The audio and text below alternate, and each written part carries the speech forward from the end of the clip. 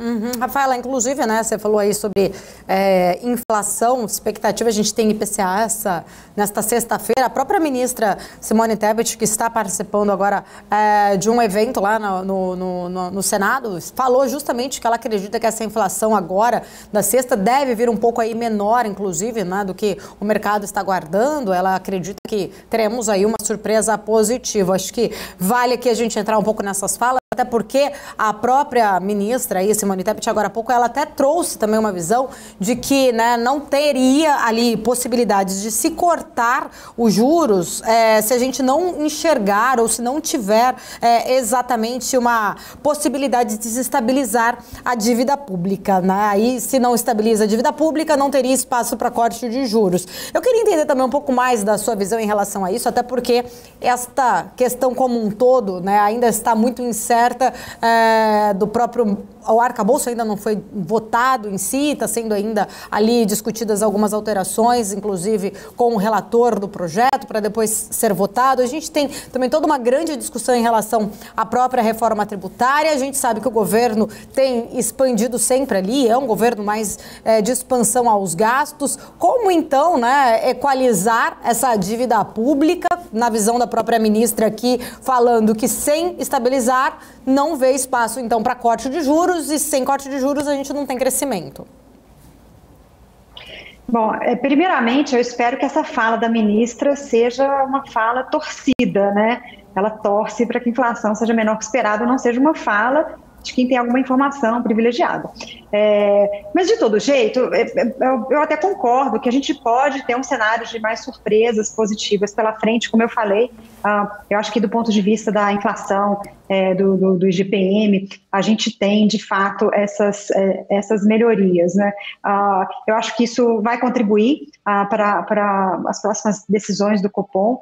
Uh, se a gente uh, tiver realmente uma melhora na inflação corrente, é que a gente possa uh, começar a discutir o início do, do ciclo de afrouxamento. Agora, a gente hoje está muito focado na discussão da política monetária, o Banco Central, a composição né, dos membros do Copom, e eu diria que o, o Banco Central ele continua sendo uh, secundário nesse, nesse trabalho, é, nesse problema né, de, de, de, inflação hoje e no combate à inflação. Eu vou até pegar a frase lá atrás, né? É, do próprio Roberto Campos, o Banco Central é passageiro, né? É, é a gente, de fato, tem uh, a política fiscal sendo ainda uh, expansionista e sendo ainda muito prejudicial para a inflação. Eu acho que a discussão maior hoje, é, inclusive da própria ministra do Planejamento, deveria estar no fiscal e não no monetário. Né? Porque se a gente tiver um alinhamento maior da política fiscal hoje no Brasil, essa queda da inflação pode cair rapidamente. E não é só o arcabouço, acho que o arcabouço é importante, a ata, inclusive, faz um parágrafo específico é, sobre o arcabouço.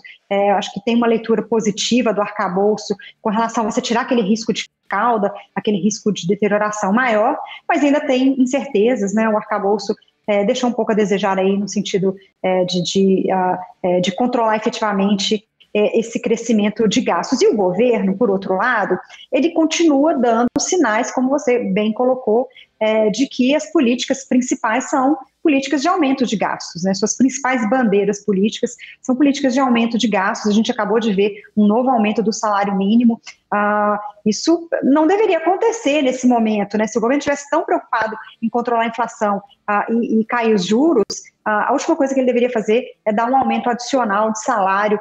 É, Uh, agora é, no, no, meio do ano. Então, foi uma política bastante populista que atrapalha o combate à inflação é, por dois motivos. Né? Primeiro, porque adiciona pressão à demanda, e segundo, porque traz essa incerteza com relação ao futuro fiscal do país. Então, a gente tem dois componentes é, negativos da política atuando contra é, toda essa, essa discussão, esse debate do juro alto. Então, muito dos juros altos no Brasil hoje, é, a raiz dele está no fiscal e não no monetário, e o governo fica focando é, o, o, esse debate com relação ao Banco Central, é, quem são os membros do Banco Central, e a discussão principal ela não está nem eventualmente a gente pode ter alguns membros do Banco Central um pouco mais dovos que outros. Acho que é, é obviamente que, que é, existe um pouco de subjetividade é, nesse, nesse ajuste fino da política monetária, uh, mas de maneira geral é, não há o que se discutir que ainda há necessidade de restrição monetária no, no, no Brasil. Você pode discutir o grau de restrição,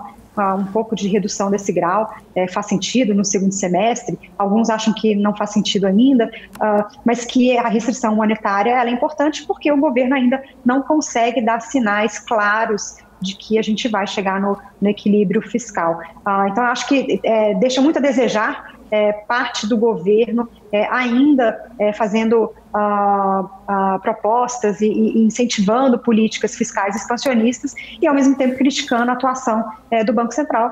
A gente precisava ver um pouco mais de alinhamento nesse momento tão crítico, né, que a inflação ainda está alta, é, o processo de queda de inflação, o Roberto Campos bem colocou, na declaração ao, ao Senado uh, que a inflação alta é um imposto muito negativo para a população e, e ela deveria ser prioridade hoje do governo, né? Uh, e aparentemente ainda não é.